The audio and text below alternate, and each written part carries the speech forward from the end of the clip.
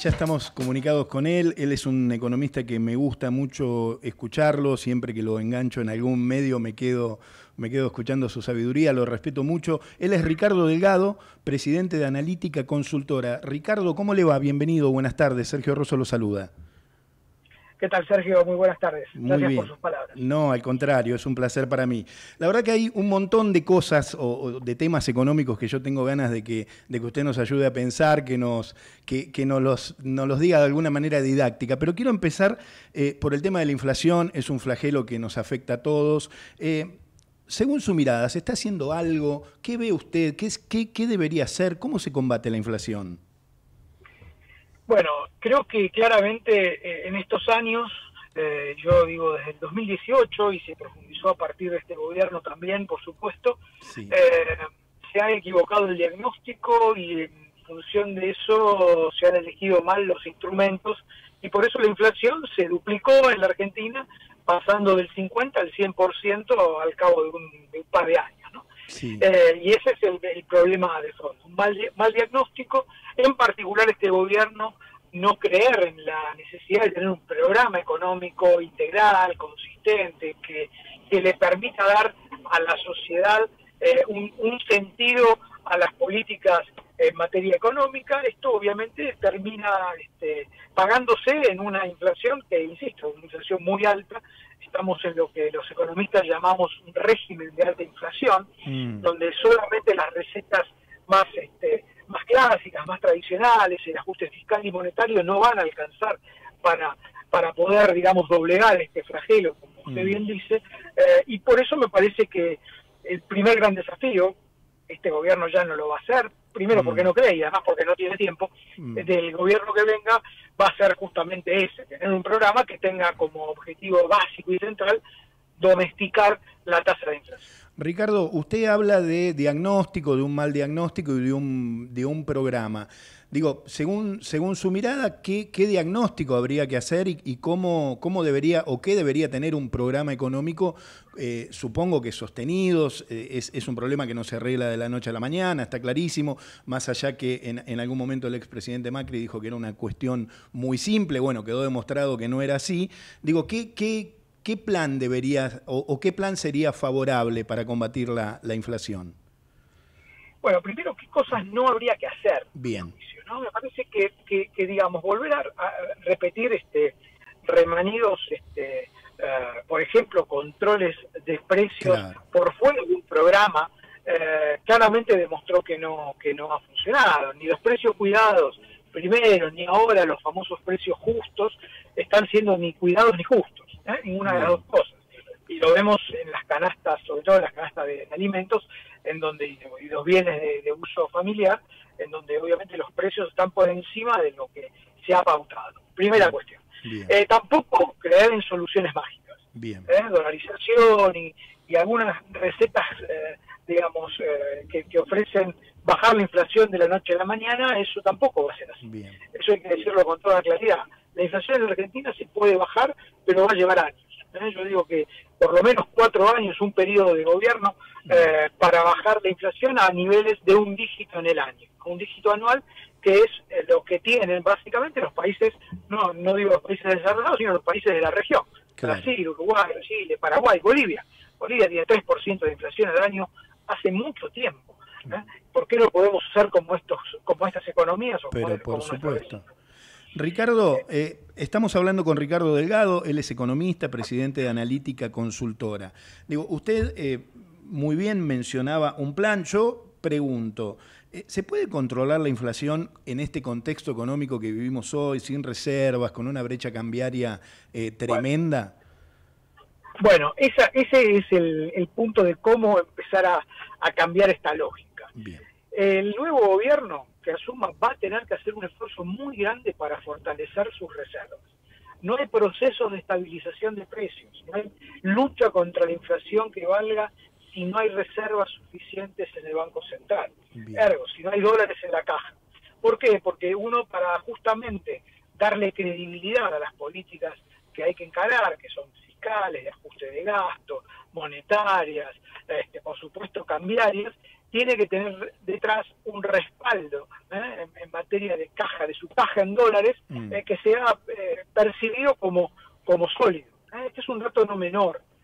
Ningún intento de estabilización funciona si no hay reservas en el Banco Central. Por eso me parece que es muy importante que el nuevo gobierno tenga eso como, como objetivo, ¿no? Porque de qué manera estimular exportaciones, cómo hacer para que los argentinos que, tienen dólares fuera del sistema lo empiecen a volcar lentamente a él. En fin, hay una enorme cantidad, por supuesto, y sectores, sectores como la minería, el gas, el petróleo, que tienen la posibilidad de atraer inversiones este, justamente para fortalecer reservas y obviamente desarrollar esas actividades que además nos van a dar más reservas, más, más dólares en el futuro. Bien, clarísimo. Eh, Ricardo, le pregunto, digo, eh, el, canje de deuda, eh, esto es una pregunta, es una opinión mía, digo, me, parece que, trae como un arrastre inflacionario e, esto de, bueno, aumentar tarifas, quitar subsidios, ¿cómo, ¿cómo lo ve usted? Sí, a ver, en general los planes que, que digamos, en el corto plazo intentan ordenar sobre todo las cuentas públicas, tienen componente inflacionario detrás. Y uno puede decir, eh, si, quiere ser este eh, más gráfico, que este programa del Fondo Monetario, que es básicamente una hoja de ruta que la Argentina debería haber encarado, este, digamos, autónomamente, aún sin el fondo. Eh, sí, ahí lo, lo perdimos un poquito, Ricardo, no sé si usted nos escucha. Ricardo, lo, acabamos de, perder un poquito. Veo que está en comunicación, pero no lo estamos escuchando. ¿Está por ahí? Ahí. Si no lo volvemos, lo volvemos a llamar. Estamos hablando con Ricardo Delgado, él es economista, presidente de Analítica Consultora. Bueno, nos estaba contando, nos explicaba eh, que, bueno, que, no es tan simple como, como algunos pregonaron bajar la inflación. Eh, diría o, dice Ricardo, nos contaba que prácticamente es imposible sin un plan económico detrás. Eh, bueno, ahí, ahí creo que lo recuperamos. ¿Nos, ¿Nos escucha Ricardo? Sí, sí, perfecto. Perfecto, perfecto. bueno, yo lo que decía básicamente es que cualquier proceso de de, corrección en las cuentas públicas, corrección fiscal, ajuste fiscal, llamémoslo como queramos, eh, en el corto plazo tiene un impacto inflacionario, porque justamente corregir retrasos tarifarios, eso implica implica subir tarifas y es un impacto obviamente sobre los costos de las empresas y por ende sobre las sobre los precios finales. Mm. Eh, hay que subir la tasa de interés, eso aumenta en un sentido también los costos empresarios y eso termina al final de camino trasladándose a los precios. Pero bueno, son parte de los costos que hay que hacer para, para intentar ordenar este fenómeno. Ahora, el problema que tiene este gobierno, que ha hecho, todo es sustancial, pero una que ha, empezado a hacer en este camino, eh, eh, el problema es que es un programa que, que sea integral, volvemos al, al principio si uno no tiene, no tiene un objetivo este, o un programa que muestre los objetivos claramente, que los pueda monitorear de... Ahí lo, lo acabamos de perder, Ricardo, no sé si está, está viajando, bueno, lo que es la señal hoy en, en la ciudad de Buenos Aires. Ricardo, ¿nos escucha? 18.15 con 16, bueno, ahí se acaba, se acaba de cortar, nos, nos contaba, te cuento, estamos hablando con Ricardo Delgado, él es economista, presidente de Analítica Consultora, y bueno, ahí le, eh, nos estaba diciendo eh, Ricardo, de eh, no hay manera de bajar la inflación sin un plan integral. Aquello que había dicho en su momento el presidente Alberto Fernández de la guerra contra la inflación, bueno, evidentemente no, no ha sido tal. Ahí lo hemos recuperado. Ricardo, perdón por las interferencias, lo escuchamos. la, Argentina es, de los pocos países en donde la telefonía móvil funciona si uno se para, ¿no? Sí, es, es, increíble eso, es verdad estoy, conduciendo en este momento y por eso hablando con manos libres, por supuesto. Pero bueno, eh, más allá de eso, este, lo que decíamos, ¿no? Tratar de, pensar que, estas medidas fiscales y monetarias, de cierto ordenamiento que viene intentando, sobre todo eh, desde la época de Sergio Massa, el gobierno, eh, no van a tener demasiados resultados sobre la inflación, justamente ¿por qué? Porque no están resueltos dentro de, o integrados dentro de un programa este, que justamente sea, sea integral, que, que, le muestre a la sociedad eh, cuáles son los objetivos y que se pueda monitorear de manera más o menos sistemática. Clarísimo, Ricardo. Eh, según su experiencia, ¿usted cree que este gobierno necesitará antes del 10 de diciembre eh, otro canje de deuda? ¿Cómo, ¿Cómo se está dando la situación económica a nivel global? Bueno, a ver, eh, si hablamos de la deuda en, dólares, yo diría que no. Diría, diría, que no.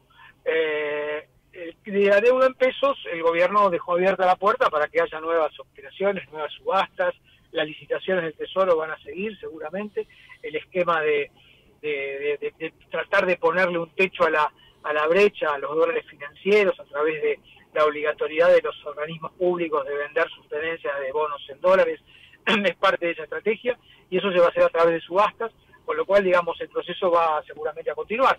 A ver, tenemos un problema, eh, Sergio, muy, muy claro, hay una, una fuerte asincronía, si se quiere, entre el mundo de los pesos y el mundo de los dólares. Estamos en un mundo de dólares muy escasos, este, sobre todo ahora, a partir de estos meses, donde no van a estar entre 15 y 20 mil millones de dólares que estuvieron el año pasado, justo por producto de la gran sequía, sobre todo por la cosecha, en la cosecha de soja y de, y de maíz, y eso impacta, como decíamos antes, es muy difícil estabilizar esta economía si no. Eh, y por eso entonces los pesos van a estar permanentemente allí este, como espada de Damocles todo el tiempo eh, viendo la oportunidad de dolarizarse y por eso el gobierno los va a tener que administrar de una manera inteligente. Estamos hablando con Ricardo Delgado, él es economista, presidente de Analítica Consultora. Ricardo, usted ha sido parte del, gobierno eh, anterior, está eh, en algún equipo económico ahora, está asesorando a, algún equipo? No. No, no, no, en este momento no. Este, dedico básicamente a mis actividades privadas, a la consultoría económica. Bien. Y, así, así seguiré en esa situación. Bueno, es una pena. Ojalá alguien, ojalá alguien lo convoque. Eh, Ricardo, las retenciones, digo, eh, usted hablaba eh, con mucha corrección de la sequía, digo, lo que va a generar en términos de recaudación de, dólares. allí hay una polémica constante de este gobierno con, con el campo en líneas generales, pero en particular le pregunto, las retenciones, ¿se pueden tocar? ¿El campo deberá esperar que, se, o deberá esperar que se corrija este desequilibrio? que usted está contando eh, de, manera brillante? Bueno, eh, yo creo que pensemos que hay una meta, entre otras tantas metas que tenemos con el fondo, una es la meta fiscal, ¿no? Vamos a tener que, este, que fueron ayer ratificadas por el, por el documento que conocimos del, del staff report del, del Fondo Monetario.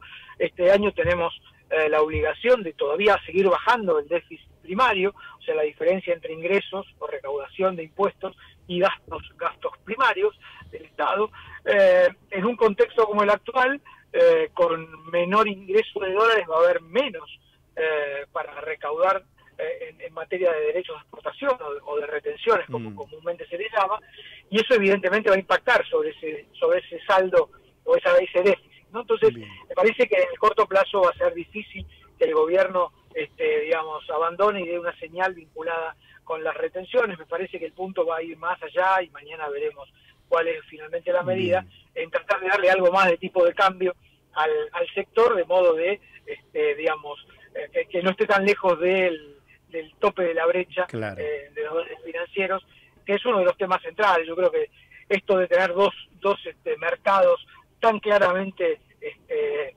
diferenciados entre los dólares oficiales y los dólares financieros, es parte del problema, obviamente, pero también es parte de la solución. Si no se resuelve esa brecha, difícilmente la inflación y, y, la, y la actividad económica se puedan recuperar. Ricardo, y por allí algunos candidatos eh, plantean eh, la necesidad de levantar el cepo al dólar al, al, día posterior, digamos, a asumir la presidencia en el caso que eh, ganaran. ¿Cómo lo ve usted?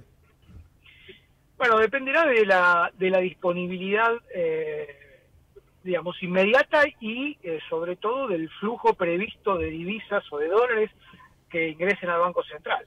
Eh, en estas condiciones hoy con un banco central que pierde todos los días, este, viene perdiendo todos los días de dólares en todos los, casi en todas las ruedas de este año, ya llevamos tres meses y algo más, el banco central perdió dólares. Eh, y esto es un drenaje, un goteo permanente que no puede continuar. En esta lógica va a ser difícil que el Banco Central llegue con reservas más o menos fortalecidas como para que el cepo se pueda levantar de la noche a la mañana. Cuando se hizo eh, allá a, comienzos del 2016, en el gobierno anterior, eh, estaba la, situación de la, de la caja no era tan compleja, pero además estaba la expectativa de eh, un ingreso de capitales que permitiera fortalecer las reservas del Banco Central. Lo que se hizo en ese momento fue emitir, sobre todo deuda, eh, en los mercados, en los mercados de capitales privados primero, y después, desgraciadamente, eh, la crisis que derivó en el acuerdo con el fondo, que también fortaleció las reservas, por lo menos en un. Bien, estamos hablando con Ricardo Delgado, él es economista, presidente de Analítica Consultora. En el mismo sentido, Ricardo, eh, ya no, no, voy a seguir abusando de su, de su tiempo, le prometo que una o dos preguntitas más y lo libero, pero siempre es muy atractivo hablar con usted. Eh, en el mismo sentido, ¿se podrían bajar impuestos como, como pregonan algunos candidatos? Y, en ese eh, escenario, ¿cuáles le parecen a usted que, que podrían bajarse? Bueno, sí, yo, yo creo que la Argentina tiene que hacer un esfuerzo muy grande en, materia de discusión de eh, cómo financiar el Estado, el tamaño del Estado que queremos, al Estado, Estado Nacional, pero también las provincias, eh, porque una parte importante también está en las provincias, digamos, de, de, impuestos provinciales y de tasas municipales, por supuesto. Eh, pero previamente a la discusión, a la discusión de qué impuestos bajar, que sí, este es un impuesto, un sistema muy regresivo en un sentido, que carga mucho sobre, sobre los sectores de menor, de menor capacidad de consumo, este, una buena parte de la carga tributaria, eh, me parece que lo que primero hay que definir es qué tipo de Estado y qué gas, qué tamaño de Estado podemos, podemos, queremos tener, pero sobre todo podemos, financiar. Ese es el problema. Porque eh, lo, lo natural es que el gasto del Estado se financie con impuestos. Bueno, me parece que primero, para discutir los impuestos, tenemos que saber cuál es el tamaño ideal que queremos de, Estado. Y esa discusión es una discusión muy profunda que hemos dado pocas veces. En el gobierno anterior se avanzó algo con, el llamado pacto fiscal con las provincias, en donde se, se bajó, se intentó bajar eh, impuestos distorsivos como ingresos brutos, impuestos de sellos. Es importante hacer eso, pero eran básicamente paliativos. Parece que los grandes impuestos nacionales, la discusión, por ejemplo, de si grabar al campo con retenciones sí o no, o en qué cantidad, o en qué monto, el impacto que la eliminación de, las retenciones tiene sobre la canasta de consumo. Por ejemplo, si uno le baja la retención al trigo o al maíz, mm. bueno, claramente va a haber un impacto sobre el precio del pan, de los fideos, del pollo, porque el, maíz es parte de los del alimento balanceado del pollo, digo, para poner ejemplos bien concretos. Entonces, todas estas discusiones tienen que estar, pero insisto, previamente a eso creo que lo que tenemos que decir es qué Estado queremos, qué tamaño y qué, perfil de Estado. Clarísimo. La última, estamos hablando con Ricardo Delgado, economista, presidente de Analítica Consultora. Algunos candidatos prevén quitar más subsidios y aumentar más las tarifas. Usted algo referenció al comienzo. Eh, ¿Qué conviene? Digo, ¿conviene esto de... Eh, quitar subsidios, aumentar tarifas o que sigan estando un poco atrasadas, según su mirada? No, yo creo que lo, ideal es eh, ir eh, ajustando eh, lo más que se pueda con el costo inflacionario que eso tiene, tener en cuenta eso. Hoy es más difícil aumentar las tarifas porque, a diferencia del momento en, en que estaba Cristina, la inflación que deja Cristina fue del 25%, mm. cuando se aumentaron las tarifas y se liberó el cepo, digamos, en ese 2016 la inflación pasó al 40%. Con un fuerte aumento, un salto inicial importante de tarifas y obviamente el cepo liberado que pasó el dólar, recordemos, de 9 a 15, para ponerlo en términos, en términos claros. Eh, bueno, eso, eso repercutió en 15 puntos de inflación adicionales a los 25 que, este, con los que asumió Macri. Hoy la situación es claramente distinta. Estamos con una inflación que de piso va a ser este año 110%, eh, con lo cual, suponiendo que ese es el número final con el que asume el nuevo gobierno, la suba de tarifas va a tener que ser eh, muy, muy violenta para poder eliminar los subsidios de manera eh, drástica. En un contexto además en donde el poder de compra de las, de las familias, los salarios reales, han caído mucho. ¿eh? Y esto, hoy, hoy tenemos un, un salario real en dólares que es aproximadamente la tercera parte de lo que era en el 2017. digo, el promedio de la economía. es un dato muy, muy duro y por supuesto niveles de pobreza que no teníamos en el 2015 tampoco. Entonces, eh, claramente la, la, Argentina, la economía argentina se, se dirime o se, se debate en un dilema de hierro muy, muy fuerte, que es cómo hacer un ordenamiento macroeconómico que sea lo menos costoso en términos sociales y cómo financiar esa transición hacia una economía más ordenada que necesariamente tenemos que tener. Ricardo, le agradezco muchísimo la, la comunicación, le agradecemos haber estado aquí en Voto 23 por Ecomedios. Eh, siempre es un placer hablar con usted. Muchas gracias. Muchísimas gracias a ustedes, ha sido un gusto. Gracias. Ricardo Delgado, él es economista, presidente de la analítica, perdón, de Analítica Consultora, aquí en Ecomedios en Voto 2023.